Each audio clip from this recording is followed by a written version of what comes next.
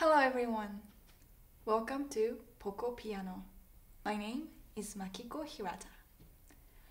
Today, I'd like to talk about one of the aspects of music that makes it a universal language. Its pulse.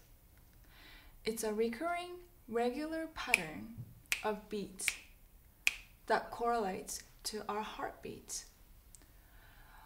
A normal resting heart rate of a healthy adult is said to be anywhere between 60 to 90 beats per minute.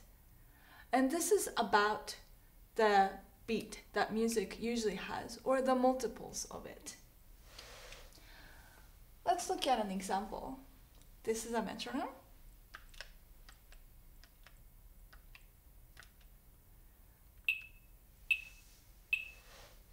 This is 73 beats per minute.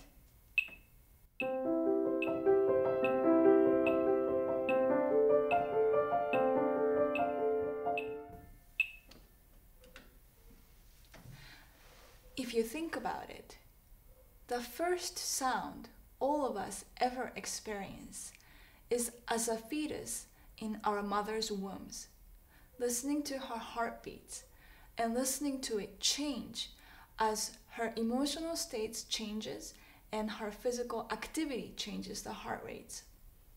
And as a fetus in our mother's wombs, we resonate and sympathize with this sound. And music does the same thing.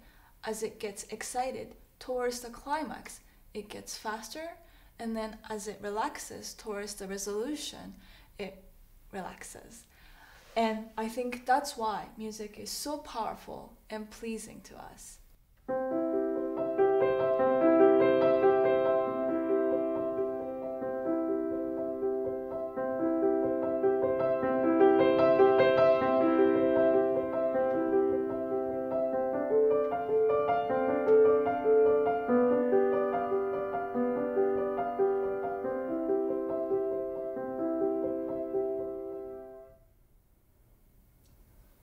Musical pulse correlating to our heartbeats. I'm glad you could join me today.